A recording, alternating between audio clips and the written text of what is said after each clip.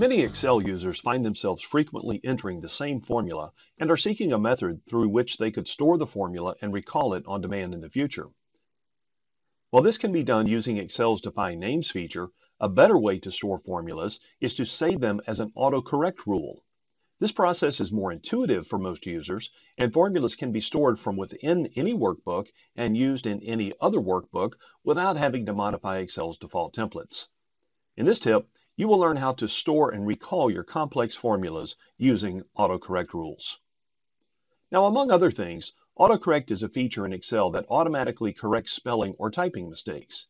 For example, if you type ABBOUT, based on a predefined rule, Autocorrect automatically fixes that mistake by changing your entry to ABOUT.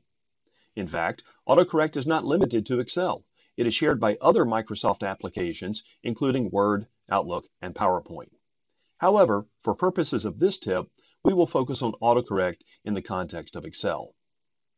Now in this example, autocorrect entries will be created for formulas to calculate the fiscal month, fiscal quarter, and fiscal year from transactional data for a company whose fiscal year runs from April 1 to March 31.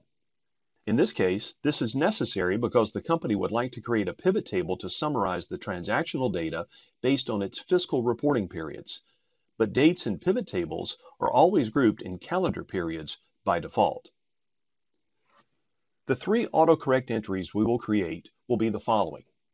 First, we will create an autocorrect entry entitled FRM month. The formula associated with that autocorrect entry converts the data in the date column of a table to a text field formatted so that only the first three characters of the month display. Next, we will create another autocorrect entry entitled FRM quarter. This formula analyzes the data in the date column of a table, and if the month number is less than 4, that is, if the month is either January, February, or March, the formula assigns the date to the fourth fiscal quarter. If the month is greater than or equal to 4 but less than 7, the formula assigns the date to the first fiscal quarter. If the month number is greater than or equal to 7 but less than 10, the formula assigns the date to the second fiscal quarter. Finally, if none of the previous conditions are satisfied, the formula assigns the date to the third fiscal quarter. The third and final autocorrect entry in this example will be entitled FRM year. This formula is used to determine what the appropriate fiscal year is for the data in the date column of a table.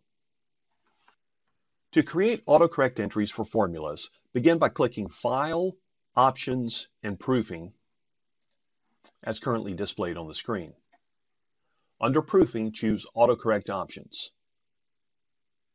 Then, enter the name that you want to assign to your autocorrect entry. The first example will be FRM month. And then enter the formula that you want to be associated with the name FRM month.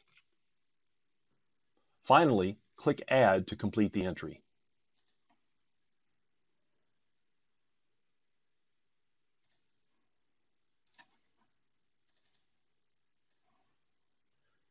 Next, repeat the process for the formula that you want associated with the phrase FRM quarter.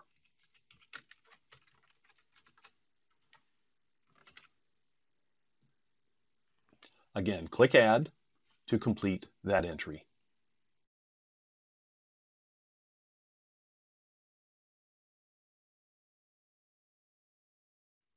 Finally, let's enter the formula associated with the phrase FRM year.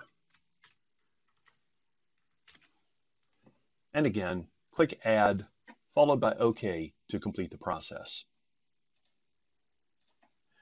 Now at this point, all three of our formulas have been entered as autocorrect entries. Let us now begin to see their application. I'll begin by adding three columns to the table, month, quarter, and year. Next, in the month column, I will enter the autocorrect entry of FRM month.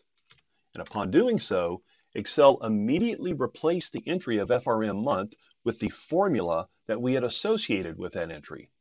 Of course, because our information is stored in a table, the formulas automatically copy down the entire range of the table. Next, let's enter the phrase FRM quarter. And again, what we find is that Excel immediately replaced the entry of FRM quarter with the formula that we had associated with that entry. And finally, let's enter the phrase FRM year. And once again, we find that Excel replaced the original entry with a formula that was associated with that entry.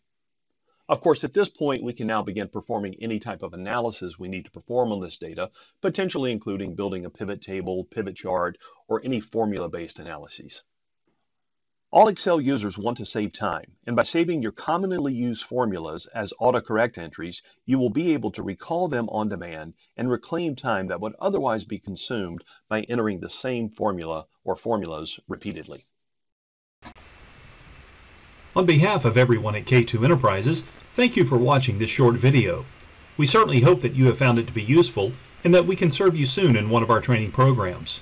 For more information on the training options we offer, please visit our website at www.k2e.com.